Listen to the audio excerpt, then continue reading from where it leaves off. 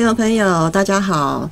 呃，谢谢您今天准点打开收音机，呃，收看这个小时的节目。哦，今天有开直播。呃，现在呢是下午的三点零一分。呃，您现在收听的是快乐联播网高雄快乐电台 FM 九七点五快乐阿霞的节目，我是节目主持人蔡秀霞阿霞。嗯，大家都知道我们现在台湾高龄化了哈。那么，我们台湾因应高龄化社会的来临，呃，很多的长期照护机构呢，如雨后春笋般的，呃，非常多非常多的设立啊。那么，到底你们家的老人遇到需要去长期照护机构住的时候，你要怎么样挑选好的机构呢？今天呢，阿霞邀请到了一个非常专业，在我们高雄非常有名的长照机构的呃护理之家的负责人兼执行长，就是我们呃博正护理之家。贾本英贾主任来到了现场，Hello，大家好，大家好，各位听众大家好，是那么哎，本英我们认识很久了，非常非常非常非常非常久，大概多久？不要讲好了，这样可以讲出来会生出我们的年龄呢，对，真的很久了，非常久，非常久。那也代表着说呢，呃，本英在长照机构的这个第。这个地位呢，非常的，非常的生机，非常的浓厚了 啊。那非常的专业，所以今天非常的荣幸呢，在节目中能够邀请到我们的贾贾本英贾执行长来到了现场啊。那么本英可以先跟我们聊一下哈，你在经营呃长照机构的之前，嗯呃，你的学历经历对是好。本来就是我是做呃，就是也是跟您一样，就是学护理嘛。其实我们最基本护理人员法就是，呃，希望我们出来开业，所以对负责人的资历一定要是护理人员。是，所以我们大概就是从最基层的呃护理学校毕业之后，嗯哼，那后来因为也是边上班边工作，就是包括接受二专的一个护理的训练。那二专完了之后，大概就是我们已经开始经营护理之家，就会。发觉就是身体跟心理其实是一样的重要，所以在照顾身体之余，我们就认为心理是很重要的问题，所以我们就又去念了社工。念了社工之后，在这几年，我们可能又认为说，其实负责人也要面临经营管理的问题。我记得以前我们在念护理的时候，就是很怕念数学，所以有个笑话就是说。数学不好的人一定要念护理，对对对，就去当护士了。可是后来因为当了负责人，可能要面临很多一些报表啊、一些分析，所以后来这这几年我们又念了那个 EMBA，就是学习呃管理的部分。哇，那你多方面学习，又是护理师，嗯，又是社工，然后又是管理会计的部分，啊，就是啊是。那你的。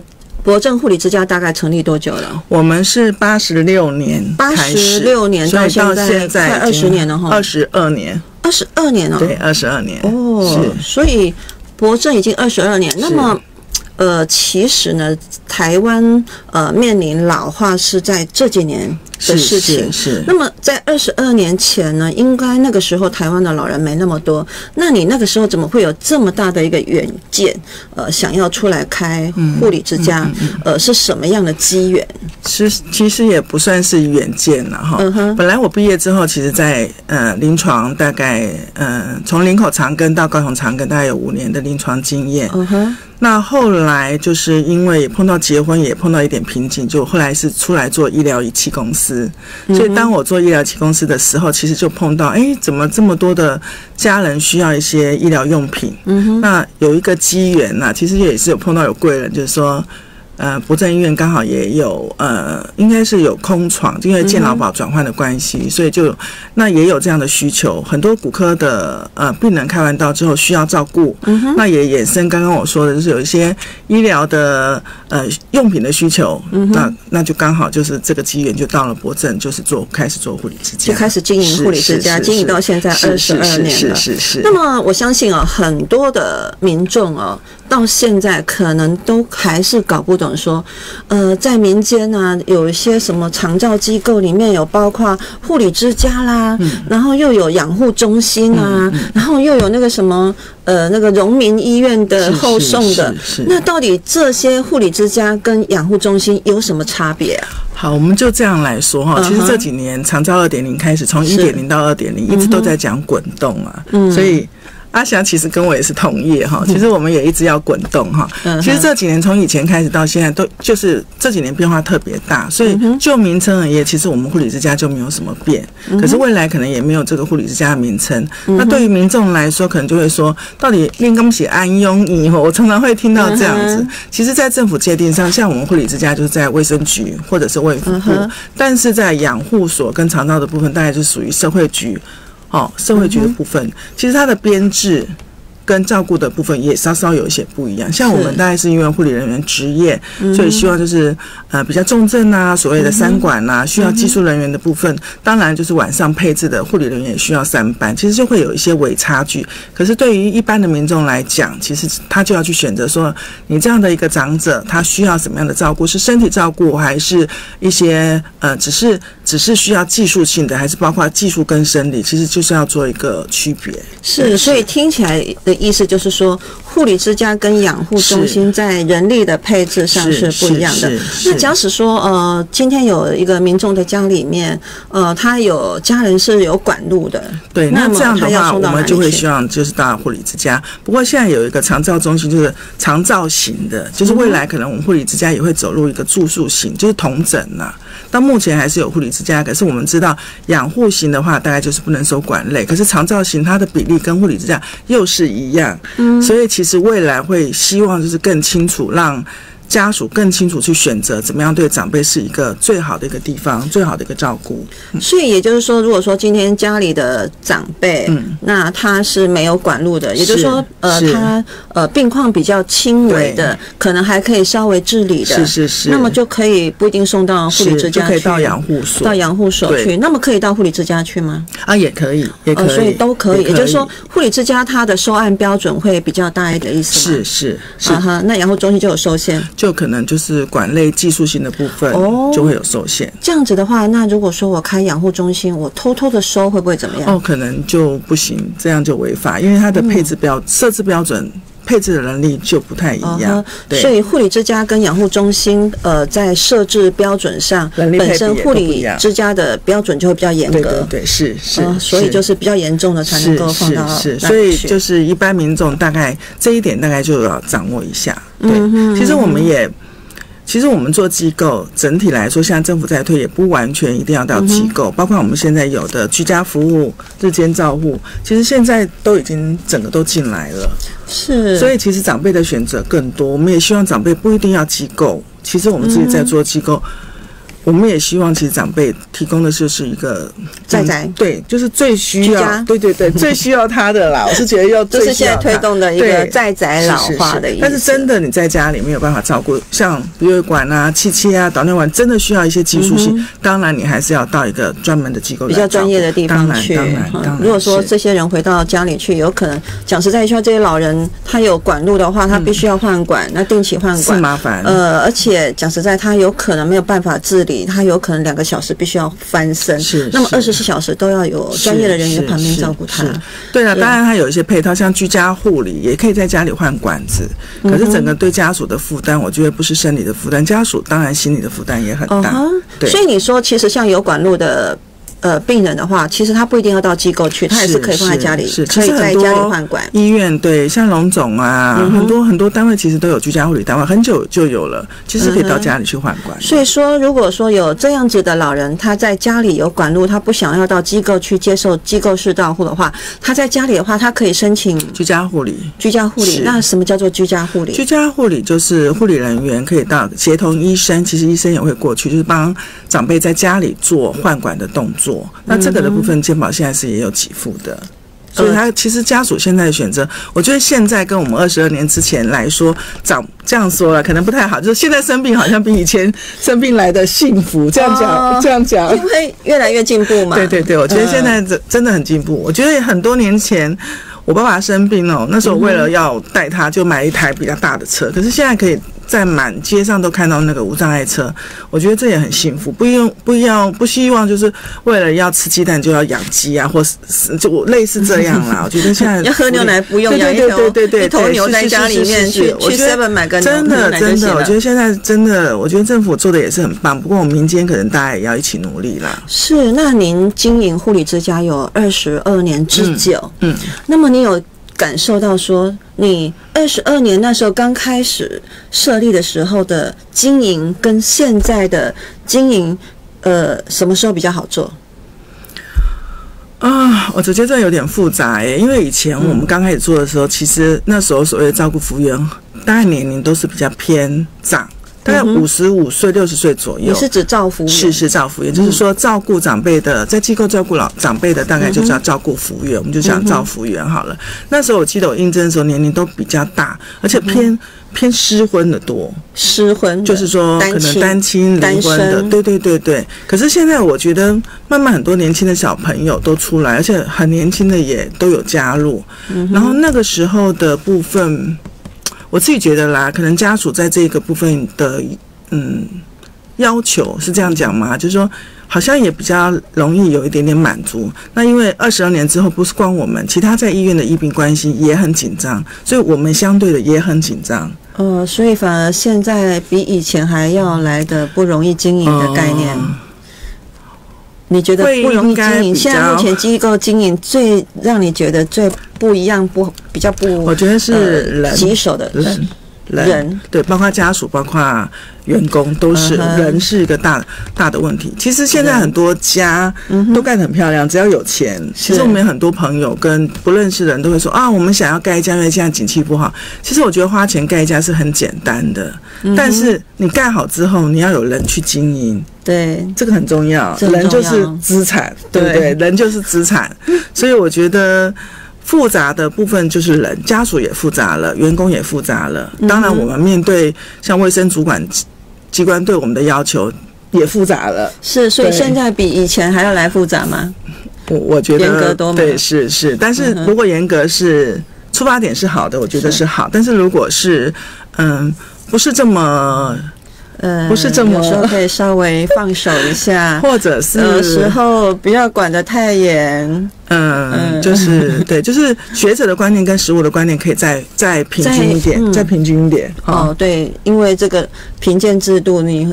我们也觉得可以接受，但是有时候就觉得他的一些评评鉴的标准，有时候是真的写的就是过于不及都不好。我记得有年啊，是啥？有一年他说要戴白手套去摸电灯啊，对，然后我们就买了白手套。那一年我就觉得啊，其实摸电灯，他戴白手套去摸所有的灰尘哎。我觉得这个就有点过哈，会不会？我记得那一年很好笑，然后还要验买一个验电灯的，就说其实是可以要求，但是过了就不好。呃，真的有时候真的，其实有时候希望说哈，呃，政府机构在思考的时候，应该要想一下，其实我们在机构都很忙的，对不对？非常呃，因为要照顾人，你像面对的是人，人是千变万化，尤其是一些病人，病人的你知道他生病的心情都。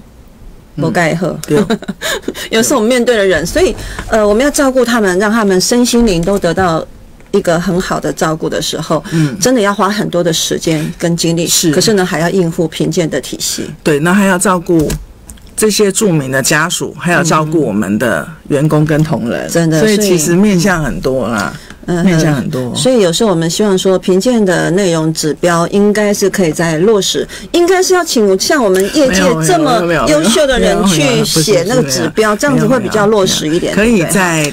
在可以在不要都是请那些学者，从来没有经营过护理之家的人去写那些评鉴标。就想你讲这样会不会太直接？下次你评鉴的时候，完蛋了，对啊，下次下次你评鉴的时候督导法哎，收回收回收回。刚刚只是随便讲讲聊聊天，对对，不算数不算数。对天哪，是 我没说，我没说，我没说。那么我们是不是可以聊聊一下哈？像一般来讲，可能很多的家属，嗯，然后他呃。呃，想要去机构，那他要准备一些什么东西？哦，他现在其实有规定一些哈，除了就是我们希望有病灾嘛，就是希望医院，如果你是从医院端出来，我们就需要病例摘要。当然，因为我们是群居生活，他需要相关的一些体检，像一些阿米巴痢疾那等等，大概就是希望来抽血检查。是是是，那些我们都需要。为什么要抽血检查呢？嗯。我认为是说，他就是像我们员工，其实只要到报道机构，到一个机构来，其他基本的资料都要给我们。嗯，那我们也知道说，到底病灾跟他的抽血资料有没有部分是吻合的？我觉得这个在团队评估的部分都有需要，这是基本资料。对，所以现在目前就是呃有要求说，只要呃，病人要入住长期照护机构，都要有一些呃检验报告。而且这几年也就是有个隔离室嘛，就是如果你的报告没有出来之后，你要依规定先去住隔离室，等到报告出来之后，你才可以离开。这也是一个。感控的一个要求了，呃，是怕说万一这些病人他可能呃有些身上有一些对群聚的问题。会传染的疾病，那还没被发现，你就把它放到那个病房里面，可能就感染到其他的住民，因为毕竟住在长照机构里面的住民呢，都是比较。呃，抵抗力比较弱的，没错，没错，没错。所以除了这个抽血检查之外，还有什么其他必须要准备的吗？病灾嘛，病灾。那当然，其他的生活用品嘛，或者是你意识清楚就要。你家意识清楚的长者，我们会希望他可以带一些他自己比较熟悉的东西，比较熟悉的东西，被子啊，被子，或或者是他有一些比较习惯的东西，枕头啦。像我都是，我一定要睡我自己的枕头，我出国都带枕头出国。是是是，真的。我觉得老人家真的因为他的病况关系要住机构，尽量如果方便的话，还是允许他带一些自己比较熟悉的东西，是哈，他会觉得比较安全感，对，真的会比较安全感。对，好，OK，现在时间呢？已经来到了下午的三点十七分零六秒喽，亲爱的听众朋友，您现在收听的是快乐联播网高雄快乐电台 FM 九七点五快乐阿霞的节目，我是节目主持人蔡秀霞。现在接受阿霞访问的是我们高雄的很有名的博正护理之家的负责人兼执行长贾本英贾执行长在节目线上，我们休息一下，喝一口水，进个广告。亲爱的，不要走开，马上回来哟。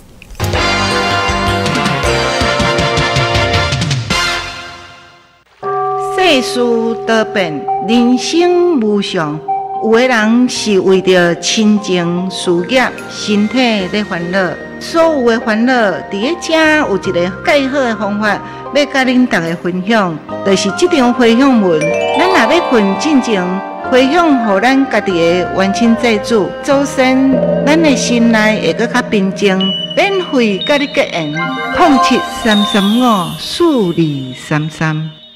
阿乐，我想租车带家人出游，哎，你有好建议吗？那就找全球租车啊！全球租车是外交部指定厂商，全台专业副驾，各种车种，包含礼车、轿车、修旅车、大巴、中巴、小巴，全球租车公司应有尽有哦！哇，那实在是太棒了！我要赶快去全球租车喽！商务接送、旅游接驳、专业包车，就找全球租车，电话零七八一三三四零二八一三三四零二。好的菌让您健康舒畅，坏的菌让您病恹恹。敏素清寡糖益菌，给您维持一身轻盈的体态。严选十一株复合式活菌，维持健康的体质，帮助消化排便顺畅，调整体质从小开始，老人小孩都可使用。现在敏素清寡糖益菌特价中，快上网搜寻“快乐爱台湾”，或拨零八零九零九二八九八。这是一个上界快乐的所在，一切真自在，关心土地咱的爱。这是一个上界自由的所在，快乐爱台湾，声音上有爱，上快乐的电台。声音上有爱，上快乐的电台。乐台湾，精彩无限。快乐联播网。加一科医生，我上次有跟他提。Hello，亲爱的听众朋友，谢谢您继续回到快乐阿霞的节目现场。呃，现在接受阿霞访问的现场来宾呢，是我们高雄的博正护理之家的负责人、执行长贾本英。在节目线上接受阿霞的访问呢，本英呢，他是我们高雄经营护理之家，呃，非常的资深的，而且经营非常好的一间护理之家，呃，非常荣幸今天邀请到呃贾主任来到线上，嗯。嗯，那来跟我们谈一些护理之家的一些相关的一些内容。那如果说我们线上的听众朋友呢，如果说您对呃相关的问题，您有想要疑呃有疑问想要提出的话，您可以打现场的扣印电话电话。话是零七九五一零九七五零七九五一零九七五，或者呢，您可以到我们的粉丝官网去收看今天的直播节目，或者呢，您可以到阿霞的脸书去收看。或者呢，你可以在阿霞脸书下面留言，马上可以帮你解除你的问题了哈。那今天谈到的是护理之家哈，嗯，好，那。像要经营一家护理之家，说实在，你知道，有时候我们出去都会想说，被人家问说哈，哎，本英啊，嗯今嘛吼老人家你要追哈，哦，你开这行的哈，今嘛是家谈的阿哥，哎，上今嘛上夯的上昂的一个职业哦，是是，哎，你也敢想呢？哦，其实很多都是外表看，其实非常辛苦的哈，非常辛苦的。对我，我觉得，嗯。可能不是随便讲一讲而已啦，真的，外行人在看，真的真的，我我都不知道怎么讲。像我们经营比较久，其实是因为已经他莫塞了呀，我他保护人阿玛西爱碎碎碎的冲一冲，其实从继续把它做好，以前到现在哦。我在做这一行的时候，我都觉得其实真的身心是很辛苦的。但是对，但是我老公跟我讲说，他说其实你做这一行很好，因为你又是做好事，但是又可以从做好事赚钱，这样子 赚薪水了哈。我就觉得哎，好像也是，因为其实做每个行业都是一样，可是这份工作好像特别特别不太一样。就是我有时候在想，老人家一辈子哦，辛苦这么一辈子，在最后面，就是如果你有能照顾他。好像其实也是一个还真蛮好的工作，对，就是说这样想。呃，在一个人的人生的最后的一个阶段，能够跟我们有缘，然后可以呃住在一起，像家人一样，这种感觉的意思。对，因为真的很多长辈年轻，真的是不管不要说丰功伟业了哈，真的就是很多很多很多。年轻真的很辛苦，有些是老板娘啊，就怕病癌呀，哈，有些是教授啊，有些是法官。其实以前他们真的都是生活也是很辛苦，然后在社会上也有贡献。可是他当他生病的时候，就是真正需要你照顾他。那如果我们能尽我们自己的专业把他照顾，真的像您说的，就是陪他走一些最后的路，最后的旅程，我们也是缘分。然后。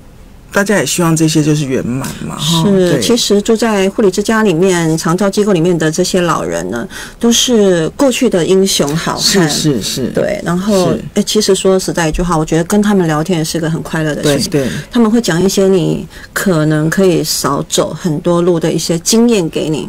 嗯而且我也发觉这些长辈很容易满足，很容易满足。对。就是说。其实你早上只要跟问问个好，然后呢，中午就说哦被夹崩啊，啊被给捆啊，就是简单的问候，其实他们就，我觉得他们就是很满足啦，就是跟我们在外面一些比较。呃，社会上复杂的比起来，我就觉得哦，一点点小事情，他就真的就是很容很容易满足。我觉得这是让我觉得一直觉得做这个工作是可以继续。对对。呃，其实有很多人呐，哈，呃，社会上很多的一些人到现在还是有一些观念会认为说，如果把家里的老人带到长照机构里面去住，哎，都是可以要单系啊，还是有，还是有，呃，不是有，是真的有。我我前几天才上个礼拜的时候。我去医院，我在那等排队，呃，要抽血检查的时候，旁边就两个那个老人家在那聊天呢。公阿姨连刚好快点叫人家上去老人乡老人院啊，啊，还唔通去啦，还去用单视的啦。其实那时候我听了这些，我很想插嘴进去，可是我想算了，我就继续听。那应该是我们努力还不够，但是我觉得现在还蛮多家属都有改观了，是有哈，对，有有有，确实有改观了。嗯，那么像你经营护理之家哈，呃。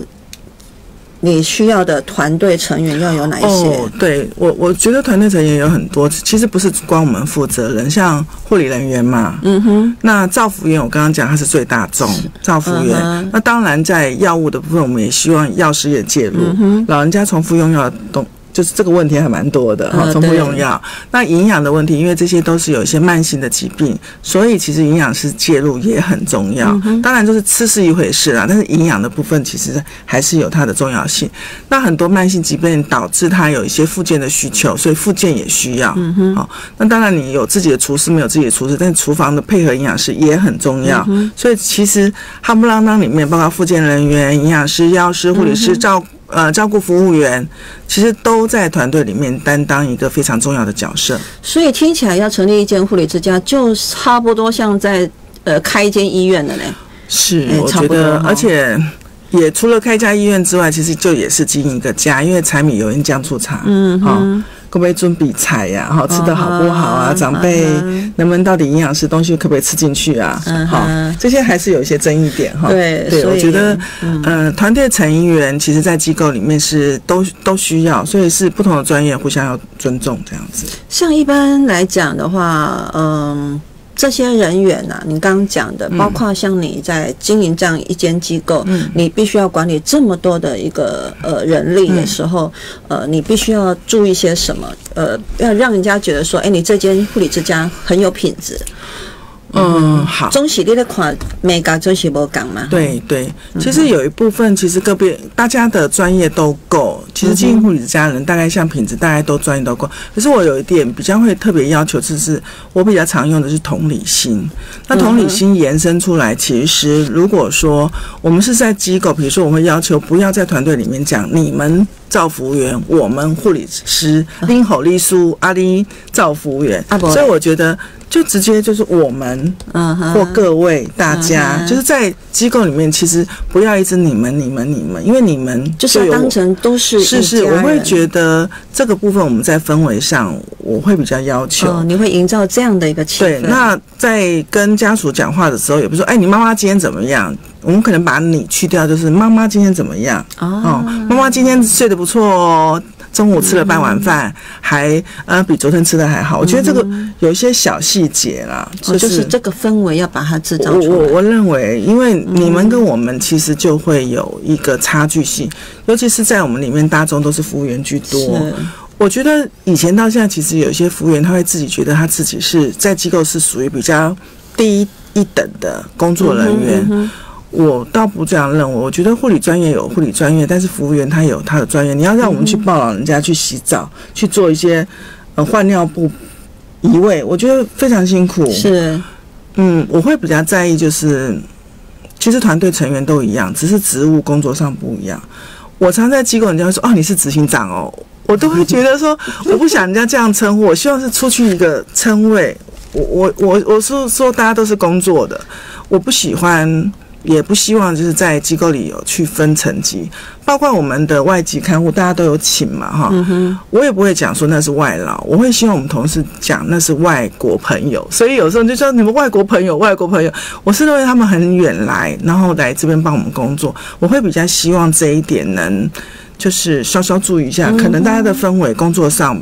不是说阿令红叔、拎红叔供诶啦哈，阿伯就说你们服务员每次讲都讲不听，类似这样我比较不希望这样子，对对。所以我想在护理之家里面，在长照机构里面，最怕发生的事情就是呃虐待或殴打老人这件事情。是是是。那可是呢，呃，你在你所请的照服员嘛哈，比如只第一线去接触的就是照服员，那你如何知道说他不会去做这个动作？其实这个动作可能是情绪一来一下子就出现。没错，没错。那么，如果有这种事情发生的话，或者是说你如何要先事先去遏制这种事情，去预防？好，我这样说就是说，其实每个员工都有压力。对。那当然，他的压力没有办法释放，他可能就会转嫁。比如说，我今天觉得主任做不好，我讲了主任，主任不可能来讲我，主任就讲护理人员，护理人员他可能就讲了服务员，服务员可能讲了外。我刚刚讲外国朋友就是外籍，那外籍的他也不可能反驳，所以他可能有些情绪会转嫁在老人家不能说话上面。所以我觉得像这样的预防，就是尽量的，就是这个工作氛围不要。有一些不好的，那没有办法出口的地方。对，因为你一个人也不可能去跟。假设说你今天你们会议之家里面有可能有二十个工作人员，你不可能分身二十个人都在他的他的身边。所以我觉得舒压源头的舒压是很重要，先把压力卸了。那如果他都是怨气，我想他对老人家讲话口气也不好。比如说我今天被我老公骂，我可能待会就骂我儿子。其实那个情绪是一个循环。我认为啦，就是说尽量不要把这样的一个压力去让它延续下去。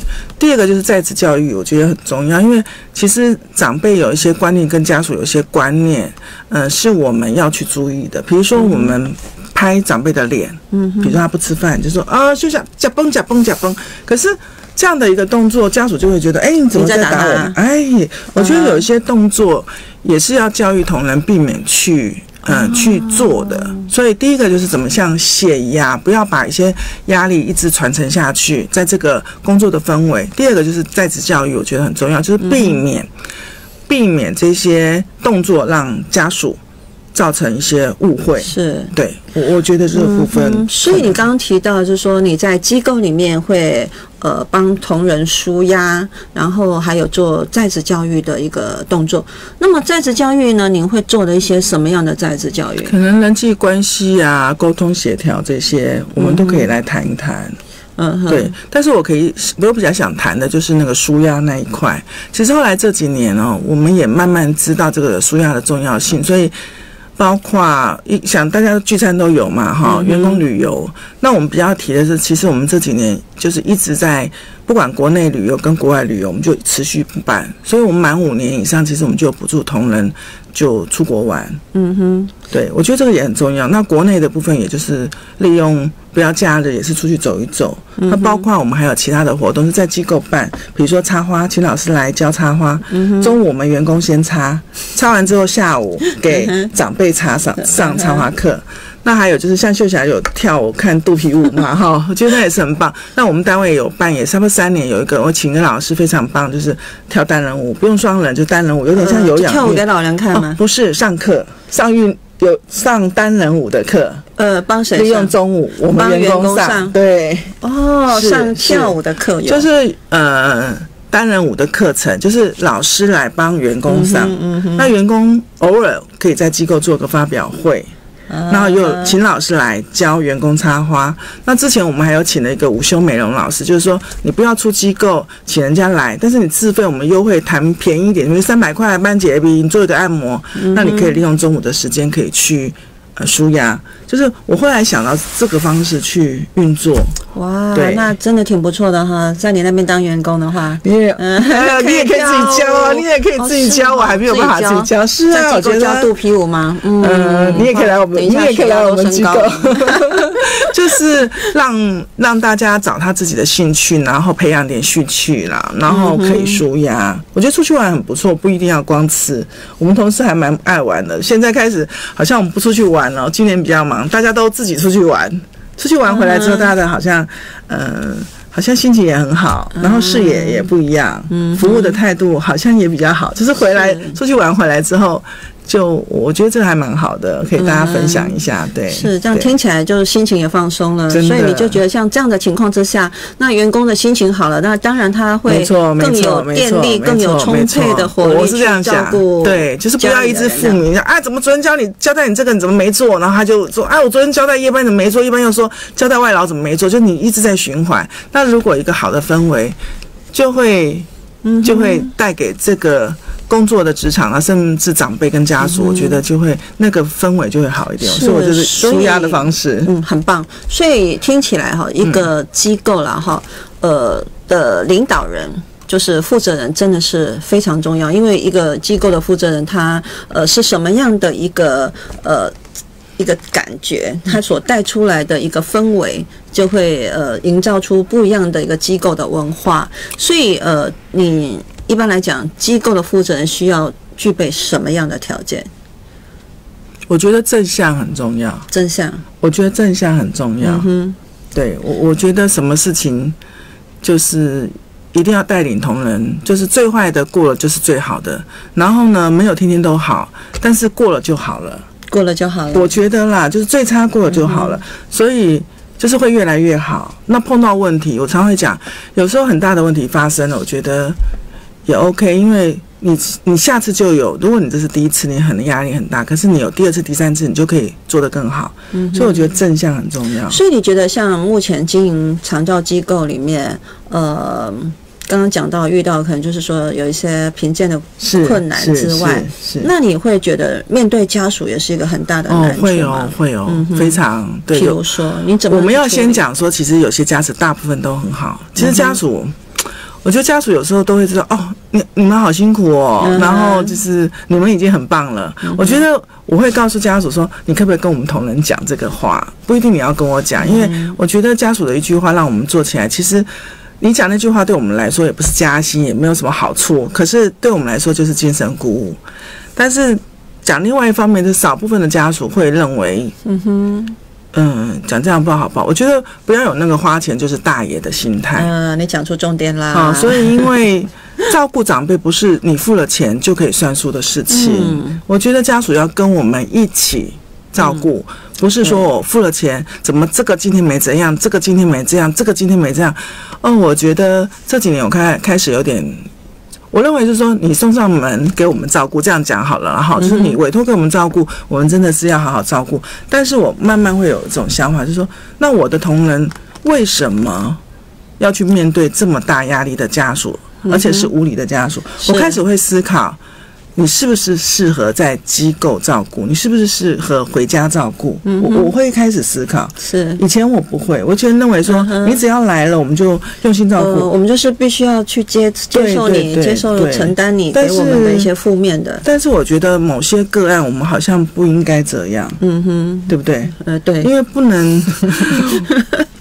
我觉得，嗯，这样子我们员工压力非常非常大，而且非常不合理的时候，我开始在思考，我要去面对。嗯哼，我觉得这个我我会我会希望，我就想说，勇者无惧，我就是要面对家属，告诉他。是，我觉得应该是这么讲哈，就是说哈，呃，要告诉说线上的听众朋友，如果说你真的有这个需求，把家里的。长辈带到长照机构去的话，其实真的是不要认为说你是付钱，所以你就要包山包海的意思是吗？哈，就是说，其实我觉得应该是说用一种呃态度了，就是说我虽然是把长辈带到长照机构去了，但是你也要一起跟着长辈去那边，呃，跟着他一起照顾，一起照顾他，而不是去到那边认为说这些都是交给你们的，你你。家属都不用做了，对，呃，其实是应该要一起去参与的意思。对，就像我举个例子哈，像现在父亲节又要到了嘛，对不对？机构都会办活动，那我们邀请家属来一起跟我们参与父亲节的活动，机构也很用心。可是有些家属不来，其实长辈平常他是心情情绪很很平淡的，可是可能家属没有来，他心情就不好。他不是生病了，他不是身体，他不是发烧，他可是晚上他就不吃饭。为什么不吃饭？因为其他的家属有来嘛，所以阿公你喜欢他不爱讲崩，对啊，你喜欢他不爱讲崩，无啦不爱那啦，到最后才知道嘛，嗯，就是说，其实你准备很好的丰富的菜肴，他不想吃，为什么不想吃？因为他家人没来，所以身体的部分照顾我们 OK，可是心理那一块，嗯，不是我们准备多好，加那个同仁表演什么节目，或者是怎么样，说阿公来驾哇喝驾哇喝驾，哎，嗯哼，可是他为什么不吃？家属的家属的这一席地位，我觉得非常重要。所以长照的部分，我觉得大家要一起，就是不是我们所有的工作人员在护理之家的人。虽然刚刚讲有那么多的团队可以取代您在你的父母亲的地位，是这个意思，就是说哈，呃，应该这么讲，就是说，嗯，我们在长照机构里面对所有的住民。就是就算是再好的照顾，没错，都没办法去取代亲情。是是是，我觉得我们永远没有办法取代亲情。还有就是说，有一句话讲了，每逢佳节必思亲。所以平常可能还好，可是特别的节日的时候，比如说父亲节啦、母亲节啦、中秋节啦、过年啦，哇，然后厝边哈给表临床啊，然后还家小弄来，结果伊都无来，所以也干嘛讲有几天他刚刚讲用仪器啊，是好，所以。所以说，就是刚刚所讲，就是说，其实不要认为说你花了钱送到机构去，你认为所有事情就是要机构去包上包海去取代，其实不是，是你虽然把它送送去机构，但是你还是要是。必须是继续参与的。对我常常都希望家属说：“哎，你家住哪里？啊，你时间可可不可以常常过来？我们是，我们不需要您就是带父亲到外面去餐厅奔波，但是我们帮忙就是这个部分做了。但是我希望家属也要很踊跃的配合我们一起，我们有心嘛。”家属也要有心嘛，嗯哼，对不对？OK，亲爱的听众朋友，现在时间来到了下午的三点四十分了哈。呃，现在在线上接受阿霞访问呢，是我们高雄的博正护理之家负责人兼执行长贾本英在节目线上接受阿霞的访问。我们中场休息一下，喝一口水，进个广告。亲爱的，你不要走开，下一下一个阶段还有更精彩的节目内容。休息一下，进广告。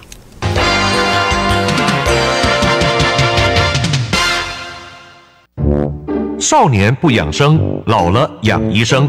男性朋友要选对保健用品。射虎健南瓜子茄红素，血成畅必定。使用南瓜子、茄红素、虾红素，还有专利的血成萃取物可可多酚，一次给你所有该有的保养成分，给男人幸福的人生。快上网搜寻“快乐爱台湾”或拨零八零九零九二八九八。世事多变，人生无常，有的人是为着亲情、事业、身体在烦恼。所有的烦恼，伫个遮有一个介好的方法，要甲恁大家分享，就是这张回向文。咱若要困进前，回向互咱家己的冤亲债主，祖先，咱的心内会搁较平静，免费甲你结缘。空七三三五四二三三。从生完小孩抱着上下楼梯，现在走路变得好吃力。我嘛是呀，年纪大了吼，走路很不舒服。保养变得很重要，擦的葡萄糖胺产品让你随时更方便。选用来自纯净无污染的纽西兰奇迹之贝亲口一倍萃取物。现在葡萄糖胺 MSM 关护乳膏特价优惠中。快上网搜寻“快乐爱台湾”或拨零八零九零九二八九八。阿乐，我想租车带家人出游，哎，你有好建议吗？那就找全球租车啊！全球租车是外交部指定厂商，全台专业副驾，各种车种，包含礼车、轿车、修旅车、大巴、中巴、小巴，全球租车公司应有尽有哦。哇，那实在是太棒了！我要赶快去全球租车喽！商务接送、旅游接驳、专业包车，就找全球租车，电话。零七八一三三四零二八一三三四零二，快乐台湾无限精彩，快乐联播网。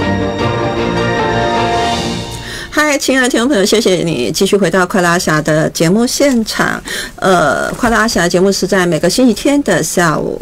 三点到四点播出啊！我是节目主持人蔡秀霞。今天呢，在节目线上接受阿霞的访问的特别来宾呢，是我们高雄非常有名的博正护理之家的负责人兼执行长贾本英，在节目线上接受阿霞的访问啊。呃，本英是一个真的是非常资深的护理之家的经营的负责人哎，真的资深资深。所以你可以跟我们谈一下哈。你目前经营护理之家，因为真侪人拢感觉讲，伊做想要来开的吼，诶，伫外口咧看人拢感觉讲，哦，做这行盖好呢吼。那可以跟我们了解一下，让我们线上的人听一下说，因为没有经营人不知道那个苦点在哪里。那可以跟我们聊一下说，现在经营机构最大的困扰是什么？困难是什么？嗯，其实我刚开始一直谈就是人啦，我觉得人是很重要。嗯，没有人。那还有就是说。您，我认为您本身就是要跟相关行业有关。如果您是只是想投资，对，我觉得会有困难。对，因为毕竟，毕竟，其实会人员还蛮单纯，或者说一般的人，就是说，如果你只是想要赚钱，其实是有困难度的。然后，如果是用一般的管理来管理一个护理之家，我觉得也是会有一些困难度。毕竟行业不是不一样，所以其实真的还蛮多。蛮多人在问，就是比如说前阵子有人说哦，去大陆可能可能开一个什么赚了一点钱回来看台湾长照，哇，这么多啊，做的哦，做的很不错啊，我们想来问问看，来开一间，其实不是这么简单，因为我们同业之间其实也大家不要说互苦拖就是互相打加油打气，其实也碰到很多很多的经营上的困难，并不是说像外面想象。那你觉得经营机构目前来讲，当然人是一个困难点啊，除了人之外呢？嗯，我我如果想要来开一间的话，对，因为现在也讲嘛，就是其实它的法规也越来越严苛啊。像我们刚刚提到，其实消防是对这几年，因为也是很多机构发生一些火灾的事件，那也不断的要求我们，除了硬体的改善，其实我们这几年大家都知道，就是连评鉴都要跑消防，这是跟医院不太一样，就是说，哦，当天评鉴。我我知道出发点是好的，但是我认为就是当天又要做一些文书，呃，要做一些报告跟检查一些文书作业，然后早上一开始哈，就是一开始就要先跑跑消防，跑大家都很累，然后进去做报告。我觉得就是要求是好的，但是可不可以再思考一下这样的部分？因为在医院这么大评鉴也没有在跑消防，是不是可以就地方政府来要求就好，而不是说评鉴。也是包山包海，包包品管。包报告还要包你那个消防，当天都要做完。我我觉得这一点我们是可以接受，但是不不太认同这样的一个做法。你那天也有跑吗？你们平天也有跑吗？当然有跑啊。对呀，是不是跑完不好报告？我们现在在直播哦。OK，然后好，我是 聊天啦。我是觉得就是呃，没有说不好啦。我我是觉得没有不好，可是可是。就是很多很多的困难点，不是不是各位所想象的这么简单。有钱有人就 OK，呃，只要有钱就可以开的概念。如果你想用这样的方式就来经营一间护理之家或者长照机构的话，我觉得就不要用这个点去思考，非常行不通，非常行不通。你就会常常以后当我们同业的时候，就常常打电话来抱怨，或常常打电话来啊，怎么样怎么样怎么样？其实其实都有困难啦。其实哈，应该这么讲了哈，呃，想想看哦，在台湾经营呃很多的。行业哦，真的，你想想看，有哪一个行业哦，真的是包山包海的，任何的单位都来管你的？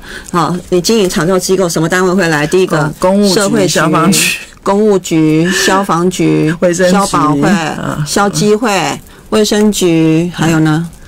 其实那个拆除大队，那个违建的也会来了，违建的也会来看你有没有做违建了。对对，所以说真的耶，你如果说要经营长照机构，你看。必须有这么多的公部门会来管理你。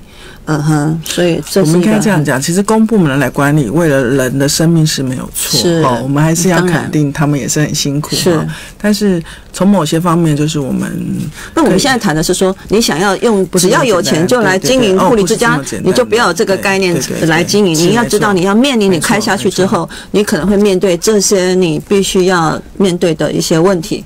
我会比较建议的困难点还是有点医护背景呐。嗯哼，就是机构负责人本身要。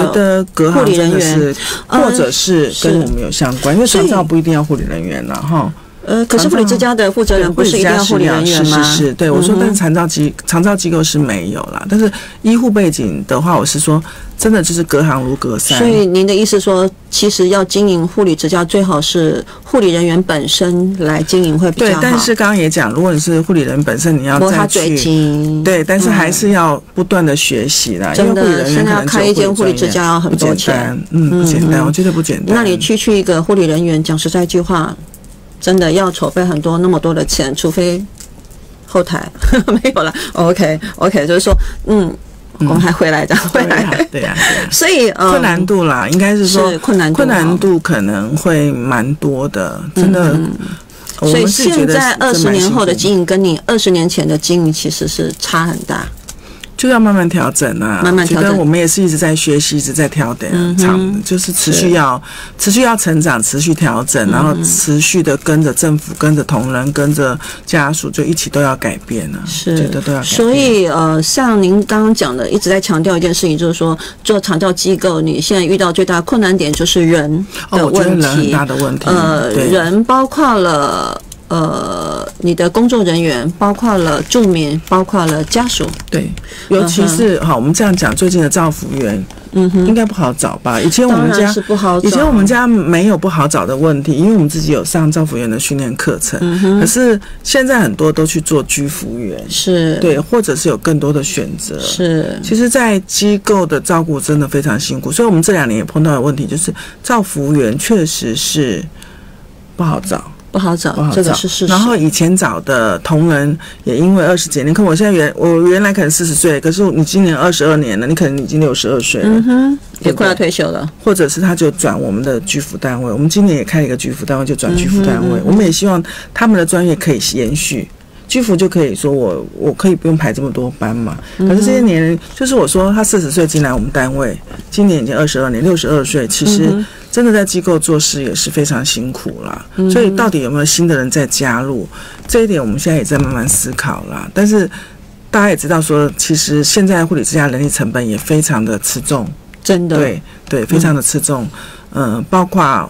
外劳跟本劳就是薪资不脱钩的问题，是好这样讲，就是说其实还蛮多蛮多还蛮多蛮多，可能有时候也不太方便讲，但实际上存在的问题，我觉得嗯对，所以问题是蛮多的。对，问题在护理之家的经营会面临到很大的一些很多的一些困难，成本可能也也会增加，不断的叠高，不断的、不断的、不断。那么你成本叠高的时候，请问一下，那你的收的照护费呢？是有。羊毛出在羊身上，那这个就是要小抱怨一下哈。其实我们高雄市也很爱护我们的，也是很爱护我们。就是我们定的一个费用是有一个有一个费用在，对对对，就是你不能超过那个，对对对，不能超过最高最低好像没有吧？哦，最高不能超过多少？最高不能超过四万五，四万五。也就是说，嗯，或许对某一些家属来说，四万五真的很高。可是如果在目前这个人力的成本或者是你设备成本不断的增加之下，嗯哼。就是就没有空间了，没有空间。就说如果有的家属就是他想要呃单人房或者更好的人力配置比在机构就不行超过这样的一个金额。可是那你认为说呃你的收费要高于四万五吗？才会有这个成本吗？你才有办法经营吗？应该是说。需求不一样的时候，我觉得人的需求不一样。你今天中午想吃面，我想吃饭；你想吃自助餐，我想吃那个大饭的大饭店的自助餐。他他的需求不一样，嗯哼，对。所以机构式的需求并不是说啊从两万五到四万五之间，而是说是不是可以在家一家机构也有一些适当的一个需求调整。但是政府就是目前就是四万五就是最高，不得再收，不能再高。对对对，就是有些家属就是他想要，可是也不行。所以，我们讲说机构化不要机构化，要去机构化。那这个部分也没有办法去机构化，因为我想要就不行。嗯哼，你想要就不行。嗯哼，我想住单人房，可单人房单人房的成本是，那最多你只能收四万五。那我可能业者就考量单人房的配备可能超过四万五。嗯哼，所以说实在一句话呢，讲实在，我们再来站在家属的立场，假设说今天呃一个。病人一个住民呃住到机构里面，一个月要付到四万五千块，这个讲实在对一个家庭也是一个负担。对对对，但是最近还蛮好，就是政府也开始补助住宿型的一些照哦。我们去年到现在还蛮多长辈有拿到住宿型的一个补二点零的补助。对，我觉得这个对家属来说是一个很大的福利。对对对，所以说实在句话，这个长照二点零是真的。造福了蛮多人的，可是还是很多人不知道长照二点零在做什么。对，所以您必须要去清楚的了解长照二点零。这个就要这样子，你要听阿霞的节目，因为阿霞会找不同不同的专业的人来这边，这样才不会失去你的权利。这是你真的你的权利，你不要去，因为你可以去申请这个福利，为什么你不去申请呢？这是政府这几年，对我觉得政府这几年确实做的很多，然后其实大家都可以去享用。这样的一个福利，对，真的真的，所以呃，你在经营机构的时候，我在想啊，你觉得你应该很期待家属要怎么跟机构配合？嗯，就是跟着我们一起照顾。嗯哼，对，我觉得就是要一起照顾，一起努力照顾好，一起就是其实这就是 together，我们要一起做一件事情。嗯哼，应该这么讲。这个一起是很重要的。是，其实我最我最不喜欢的是那种家属都不喜欢来看病人，对，来机构看他的长辈，嗯，然后他很少来，反而经常来的那种，我觉得呃，他会知道整个呃住民他的情况。呃，可能他的身心的变化，可是那种久久都不来的，突然之间你可能一通电话跟他讲说，哎，呃，这个宝宝现在状况怎么样？他就会很生气，他哪呢？哪呢？不是喝，不是好好的吗？对，我觉得这个我们还碰到一个真的，就是家属已经到门口了，然后就打电话请我们书记下下去收钱，都到门口，都到门口，还是不愿意上去看他的老人。就是请您下来收钱，然后拿上去，就是个案啦。我们真的希望就是照顾长辈是一起做，一起一起，我们可以一起花点时间。那有时候我都会想说，你现在其实你做的，你的小孩都会看。嗯哼，当你老的时候，你的小孩也会这样做，真的，真的，我都会这样想，哎，嗯哼，对。现在你关心现在老人，就是关心未来的你自己，嗯嗯，没错，没错。所以呃，可以聊一下说哈，因为节目剩下几分钟的时间，可以聊一下您对机构未来的展望。哦，嗯，其实我们因为曾我们大概这八九年都是，嗯。就是承蒙大家也都很很很很照顾了，我们就是都是满床的状况。但是今年我们有有做一个调整，应该是政府真的也在滚动，我们这以前其实都不用担心，大家就是排队登记进来，所以我们也没有什么外展。那今年是有一个机缘，就是机构经营有点改变，所以我们这边大概也就开始做了一个居家服务跟日间照顾。所以原本的机构式照顾延伸日间照顾，日间照顾是 day care，就像那个托托老中心，就是白天来上课，对晚上就回家睡觉。其实很多长辈不一定是一定要二十四小时住机构，所以就是延伸了一个日间照护。OK，那延伸了一个居家服务，就是到家里去照顾。所以我们的人其实他的需求可以。我到你家照顾你，因为短暂需要可能只是呃身身体的清洁、洗澡嘛，还是做一些家务的处理。那或者说啊不行了，我们到日间照顾，真正需要的时候我们在机构照顾。就是我们有做，就是有全方位的不同的呃一些方式让你们选择。希望可以就是讲到博正，就是这个部分有一些不同的选择。现在时间呢已经来到了下午的三点五十五分四十六秒了，时间接近尾声了哈。呃，今天接受阿霞访问的特别来宾呢是我们高雄博正护理之家的负责。人兼执行长贾本英在节目线上啊，亲爱的听众朋友，今天非常谢谢你的收听跟收看啊，下个礼拜天下午三点到四点同一时间，记得马上跟我们连线，等我回来，拜拜。